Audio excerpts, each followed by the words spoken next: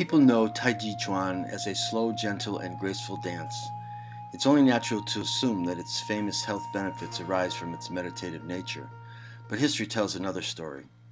It is a story of a marriage made by mutual convenience, and it is a story of a union of parties as different from one another as the Capulets and the Montagues. It's actually more than a marriage story, it's a blending of two clans in a union that took centuries to consummate. On the one hand, you had the martial arts practiced in China for more than 5,000 years.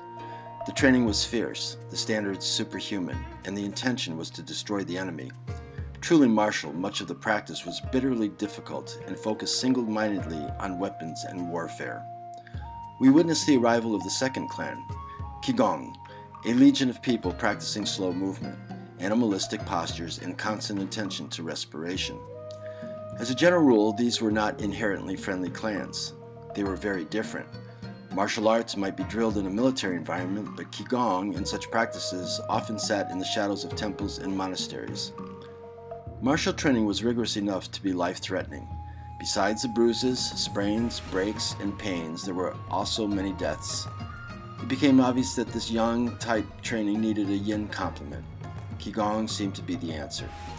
A simple system emerged hard martial practice to strengthen and condition, offset by a session of Qigong to relax, recuperate, and rejuvenate.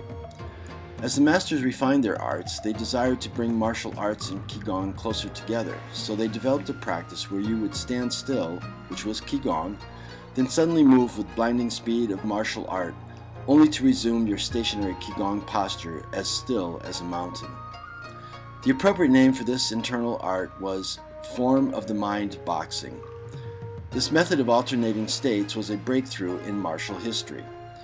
Eventually, the clan boundaries disappeared. Somewhere around four centuries ago, a key martial union gave birth to a brilliant concept. This required an examination of all basic martial movements, throwing out such extreme actions as aerial kicks, rolling attacks, and overly tensed strikes. What remained, actually a great deal, were movements which could be practiced as martial and Qigong simultaneously. The consummation of this was Tai Chi. Actually, the full name is Taiji Chuan, or Yin Yang Boxing. As you can see in the image here, where the two circles of Qigong and martial arts overlap, Taiji Chuan occupies the mutual area.